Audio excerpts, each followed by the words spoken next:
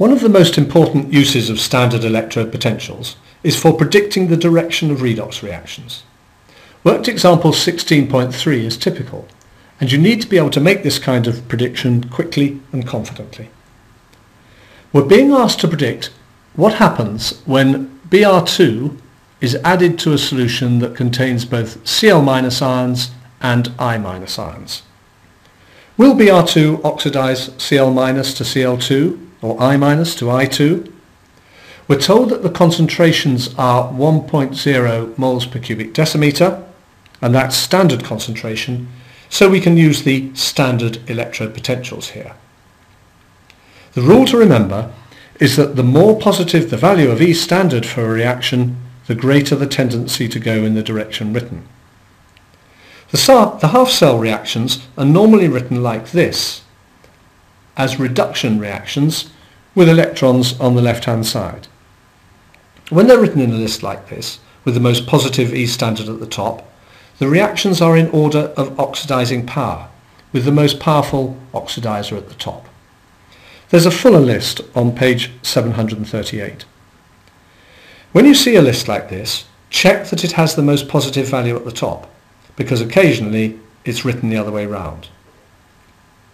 Now, a half reaction will oxidize any other half reaction that has a less positive value of E standard, and that means a half reaction that is lower down the list. So let's look at the reactions in this worked example. If the Br2 is going to act as an oxidizer, the half reaction will have to go in the direction written. But that means that the other half reaction will have to go in the opposite direction in order to provide the electrons that the Br2 is accepting. That means that the I- will be oxidized to I2 because it's below the Br2 half reaction. Now with the I- reaction being reversed, the sign of its E standard changes from plus 0.53 volts to minus 0.53 volts. But if you add together the plus 1.07 volts for the bromine half reaction and the minus 0.53 volts for the iodine half reaction, you get plus 0.54 volts. And this positive sign for the overall reaction confirms it will go. Br2 will oxidize I-. But Br2 won't oxidize Cl- because this half reaction is above the bromine half reaction. So Cl2 is a stronger oxidizer than Br2. Just a couple of warnings. First, these are standard electrode potentials, so the prediction only works for standard conditions.